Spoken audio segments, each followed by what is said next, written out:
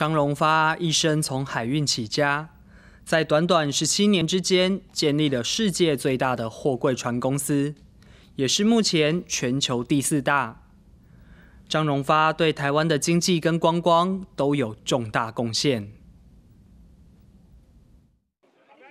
从海运起家的长荣集团创办人张荣发，一九六八年借由一艘十五年船龄的杂货船长信轮，为集团奠下发展基础，并在一九八五年一跃成为世界最大的货柜船公司，从此成为全球航运界的领导品牌。他的船都会到世界各地去，所以我觉得他对台湾的这一种。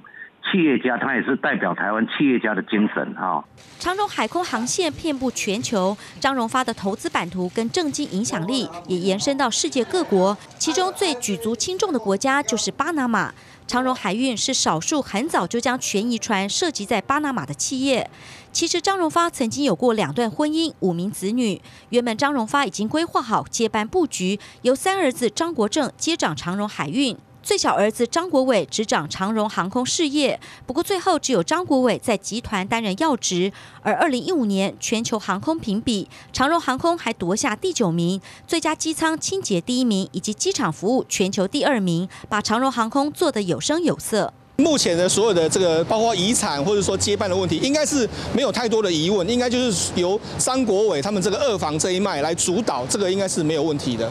张荣发一生从海运起家，短短十七年间建立世界最大的货柜船公司，目前为世界上第四大的货柜船运企业。尤其版图横跨海运、空运、航太等等，也连带带动台湾的零组件产业的提升，对台湾的经济跟观光都有重大贡献。记者赖水明、蒋龙祥台报道。